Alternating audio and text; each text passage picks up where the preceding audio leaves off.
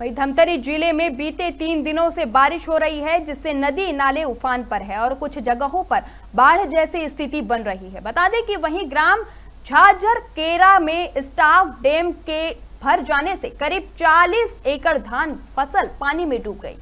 ऐसे में किसानों को फ़सल बर्बाद होने की चिंता सता रही है, जिसकी शिकायत किसानों ने जिला प्रशासन से करते हुए मुआवजा देने की मांग कर रहे हैं। वहीं किसानों का कहना है कि साल्हे भाट नाला में गलत तरीके से स्टाफ डेम सिंचाई विभाग द्वारा बनाया गया है, जिसके कारण से बीते तीन सालों से किसानों को भारी नुकसान उठाना पड़ रहा है। किसानों का कहना है कि स्टाफ डैम पूरी तरह से भर जाने के बाद भी उसका गेट नहीं खोला जाता, जिसके कारण से फ़सल पानी में डूब जाती है। वहीं बहरहाल जिला प्रशासन किसानों की समस्या का जल्द समाधान करने की बात कह रहे हैं। किसानी काम करता हूँ, समस्या एक ठन बात है। कि साले भाट के जबले डाइवर्सन बनी।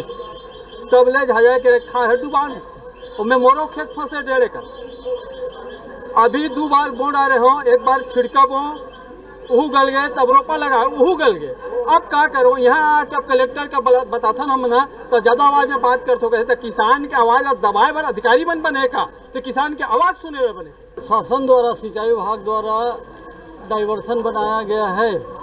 ना, नाला में तो उस डाइवर्सन की हाइट ज़्यादा होने के कारण झाझर किरा का पच्चीस तीस एकड़ खेत तालाब की तरह पानी भरा हुआ है, डूब गया है, पूरा फ़सल सड़ गया है।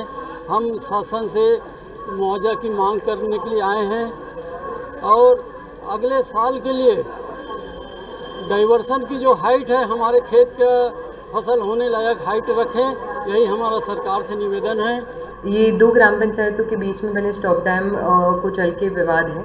एक गाँव वालों की फ़सल में थोड़ी सी नुकसान आ रहा है तो दूसरे गाँव वालों में अगर पानी छोड़ देंगे तो वहाँ नुकसान आ जाएगा तो उसका समाधान निकाल रहे हैं।